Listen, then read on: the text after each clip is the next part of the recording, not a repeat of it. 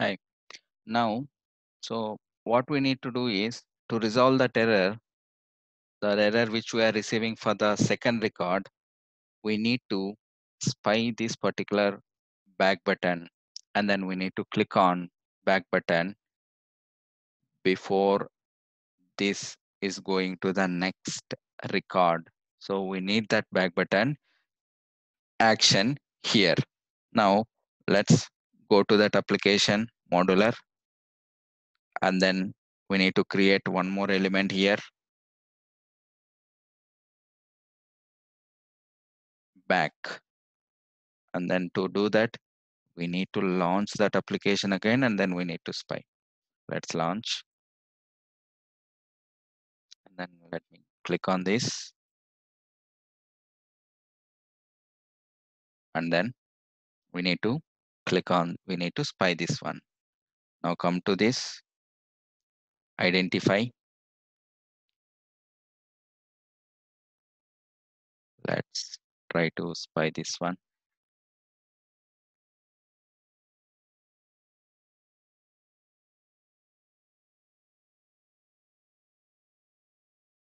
Not spying here. Let me change the spy mode okay.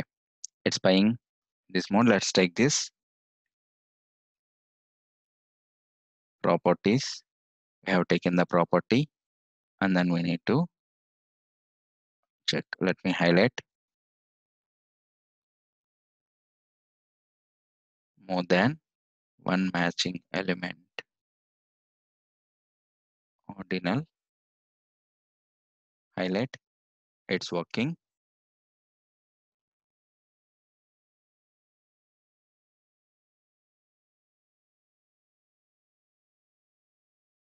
let's again observe this. It's highlighting. And even though he is it's checking and let me try some other attribute parameters to overcome that error it's highlighting. Good. And then it is not showing any error here. Now apply. And then okay. Now let's use this in our actions. This is back and then we need to test it. So this is for navigate. Give the link. Double click on this.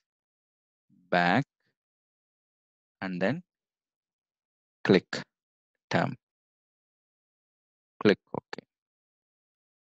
This is for back button. It is showing. Click item okay. Let's test this.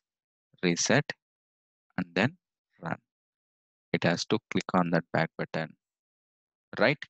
So when it's click on the back button then only we can go to the next thing. It is showing some error. Navigate state navigate cannot send me the quick message. Failure to find matching button. So let's try with the some other thing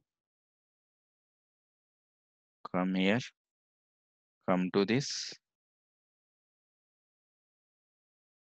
navigate action click item okay. So let me spy in different mode come to this. So it depends on the application to application which application we are going to work with. Application modeller back let's try to identify one more time. Come to that application. Change the mode. Okay. So this is UI mode. Control left click. Let's take the same properties.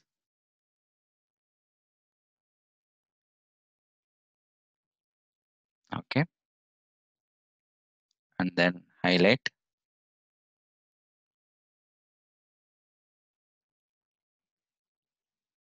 Highlight. It's highlighting. Apply and then okay. Now again let's test one more time to cross check action will be see this back button global mouse click center and then click ok. Now let's test this here whether it is going to work or not. Click. See this it clicked and then it went. Right? This is how. So we have to so do r&d when we are having any issue when we are spying and then when we are testing. Now it is working right? Now we can use that particular action in our process studio. And then we can so implement this include this here and then we have to run again. We'll see that in next